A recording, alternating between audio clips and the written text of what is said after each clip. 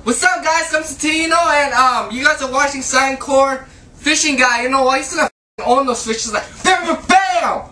Yeah, it's like the claw. You know what I'm saying? And um, yeah, you're watching his fishing guy.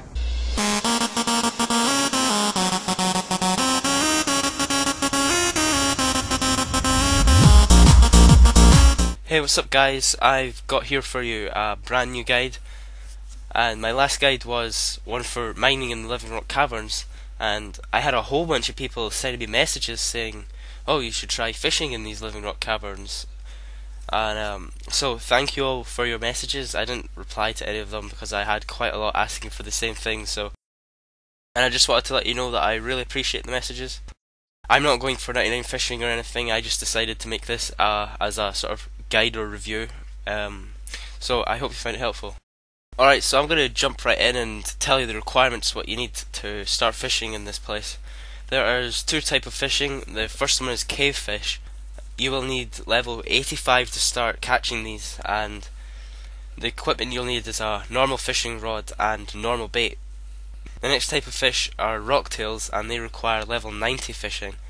And these require not normal bait, but a special bait called Living Minerals, which you can buy from the Grand Exchange.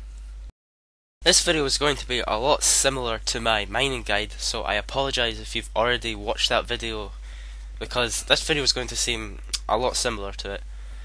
But for those who have never been to the Living Rock Caverns before, I'm going to really quickly show you how to get there. Teleporting to Falador is probably your best option, and from there you want to just run north and you'll reach the dwarf area you can buy the cannon from. You'll find in this little, I don't know, dwarf village thing, you'll find a ladder which you can go down, and this will bring you into the dwarven mine.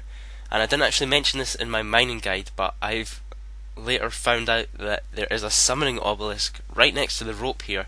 So if you're travelling back from Falador and you haven't got full summoning points, it's really easy to just charge it here and then you can head down, and summon whatever familiar you have with you. Climbing down this rope uh, just brings you to the Living Rock Caverns, and you're straight away ready to do some fishing. In the centre of the Living Rock Caverns, you will find a pulley system. Now, this works just like a deposit box, so you won't be able to withdraw everything, so make sure you bring everything you need with you before you get here. The three recommended fishing locations I use, I'll highlight on the screen. If you use World 84, there will be so many other people fishing that you can just follow the crowd. There will be a ton of people fishing here, trust me. But first, before we crack into this fishing, it's pretty important that you know how the summoning skill can benefit your fishing if you have trained that skill already. Now there are a whole bunch of Beast of Burden familiars you can choose from. You can see these all on the screen at the moment. But if you're 99 summoning or whatever, you can go ahead and use a pack yak. I think it's level 96 you need to summon that. But if you can't use one of those, I would really recommend you use a familiar which adds an invisible boost to your fishing level. So this is just basically going to boost your XP per hour.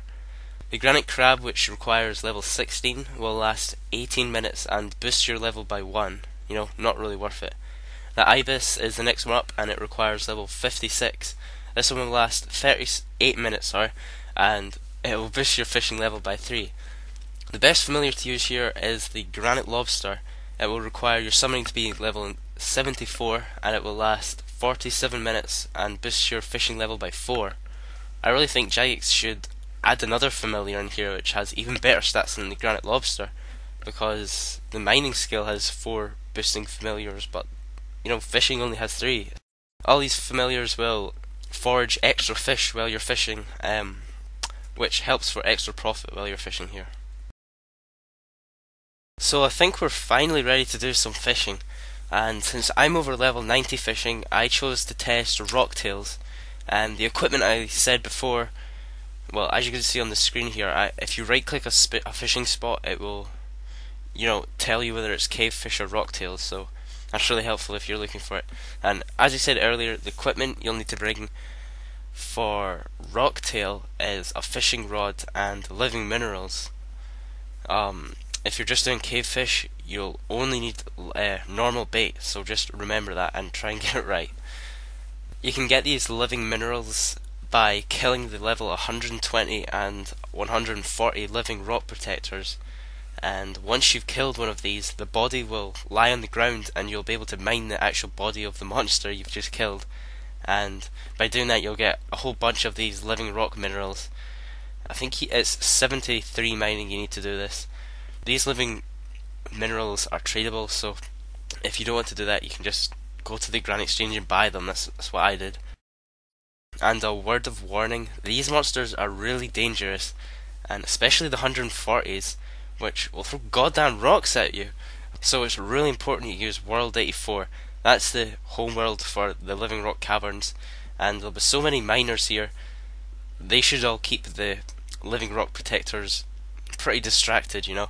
So, I, I mean, I don't think I was hit at all while fishing here. If you are a level 3, um, it's perfectly okay to fish here. I do see a lot of level 3s here. But I would recommend, you know, wearing nothing or really cheap armor. Because if one of these things hits you, I'd say you're pretty much going to be dead. And, you know, it's pretty easy to run back without risking anything and, you know, picking up what you had in your inventory from your grave. Um, I'm not sure how many level 3s actually watch my guides, so if you're level 3, please leave me a comment and I'll make sure to include more skill or tips in my guides or something. And uh, I don't know if you guys can read it, but I, am looking on my Vegas preview box just now and the text is really small, but I got recognised by a guy here called It's Mohawk while I was filming this video, so, you know, a shout out to you, It's Mohawk, if you're watching this video now. But um, I worked out some experience rates per hour here.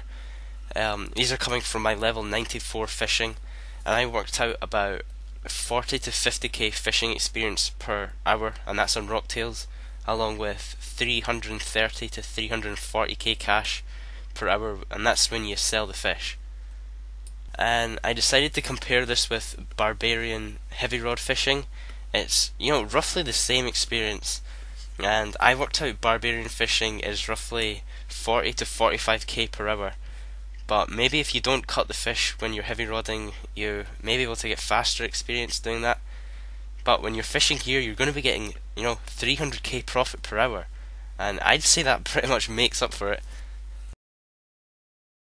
Also, comparing this spot to fly fishing, the maximum experience I've ever had with fly fishing and dropping the fish would be around 45k per hour. When you fish at Shilo Village, or is it Shilo Village? I don't know. You bank the fish there. I I worked out around 40k experience per hour, so I would say that fishing rocktails is better than that, and you're making so much more money. I don't see any reason why you would fly fish anyway unless you were free to play. And remember, if you've got a familiar, you can right click it and use the withdraw feature, and as you can see, there's a huge big pile of granite lobsters sitting right next to me. So when you're at the bank, you can right click the summoning icon at the right hand side of your screen, you know, under your run energy percent, and you can just right click that and I think there's a, a selection button for withdraw beast BOB which stands for beast of burden and that puts everything in your inventory which the granite lobster holds so each time you're banking just remember to do that. The granite lobster gave me a whole bunch of sharks and swordfish which added a fair bit to my profit over the fishing period. And that pretty much brings me to the end of the video. And I've spent quite a while editing this, so uh, you know, I'd really appreciate if you could return the favor and maybe rate the video or I don't know, favorite or whatever. But um, yeah, I'll see you guys in my next video. Thanks.